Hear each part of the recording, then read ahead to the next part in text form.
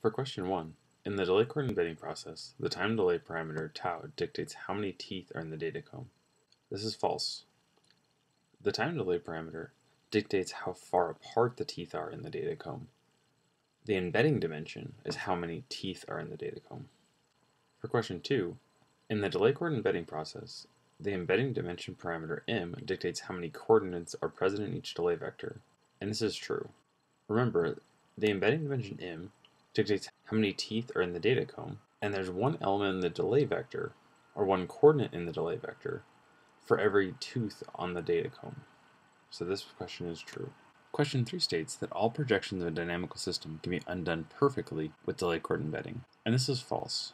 While delay cord embedding does undo some types of projections, in particular, projections caused by taking a scalar measurement of a dynamical system using a smooth generic observation function at regular time intervals.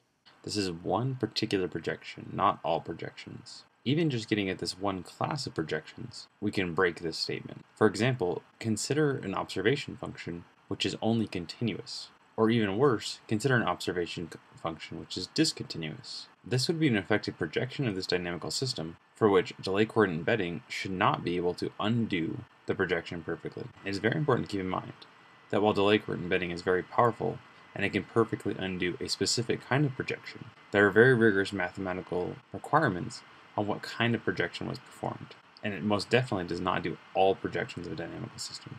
Question 4 states that the condition of the Takens delay cord embedding theorem require that the observation function h that produces the time series data be a continuous function in that state space. And this is false. While it is certainly true that the function must be continuous, for delay cord embedding to work, the observation function h must also be both differentiable and generic. That is, the observation function h must be a smooth generic function on the state space, not just continuous.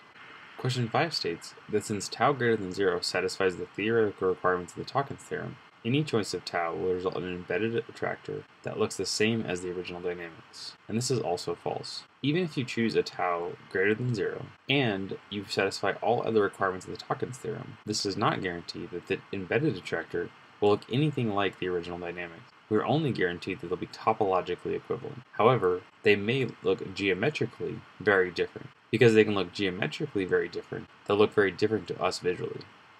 For example, consider these two Lorenz attractors. They look very different geometrically, however topologically, they should be equivalent.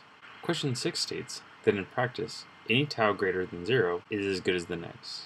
That is, any tau greater than 0 will provide a correct, equally complicated, and equivalently useful embedding. And this is false. In theory, this statement is true. Any tau greater than 0 is as good as the next. However, in practice, due to noise and finite data lengths, the choice of tau becomes critical in not only the usefulness of the embedding, but whether or not the embedding is overcomplicated. For example, whether or not it's folded in on itself.